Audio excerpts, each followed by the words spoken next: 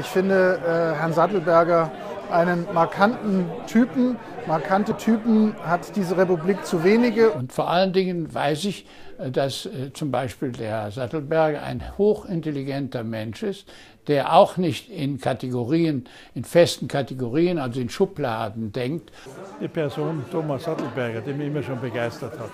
Also dieses mit Engagement, Vorbringen von Ideen, das finde ich toll. Er füllt Freiheit und Verantwortung aus, das lebt er und da kann man gar nicht dran vorbei und deshalb überzeugt er auch so sehr. Ich finde, er ist sehr kämpferisch, er ist richtig mit Vollblut dabei und äh, ich hoffe, dass er viele Mitstreiter bekommt. Er ist ja eigentlich ein Phänomen, was es eigentlich bei uns sehr selten gibt. Auf jeden Fall wird er sich bemühen, in die richtige Richtung zu gehen.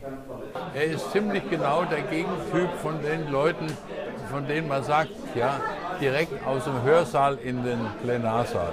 Er weiß, wovon er redet, er weiß, was er erlebt und entschieden hat und deswegen kann er was für unser Gemeinwohl tun. Thomas Sattelberger ist ein leidenschaftlicher, hochaktiver Querdenker der Aufgaben übernimmt. Ja? Und er ist nicht so formatiert wie viele andere Politiker. Der kennt keine Floskeln, sondern der wirkt immer kämpferisch und er möchte etwas bewegen. Also dem Thomas Sattelberger traue ich ja einiges zu. Temperamentvoll, engagierter Liberaler mit einem unglaublichen Kampfgeist.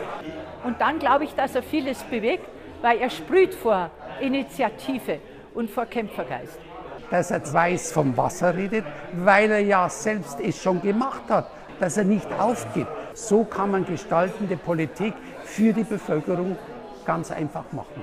Ich finde ihn als Person sehr, sehr interessant, sehr, sehr spannend und dass es eben Leute gibt, die aus der Wirtschaft kommen, die eben viele, viele Jahre in der Wirtschaft gearbeitet haben, die wirklich die Praxis kennen. Das ist eigentlich das, was mich am meisten fasziniert an ihm und großartige Geschichte ist, dass er auch in den Bundestag geht, aus Passion raus und äh, damit wirklich mit Leidenschaft irgendwie was bewegen möchte. Und das sind die Menschen, die wir in unserem Land brauchen.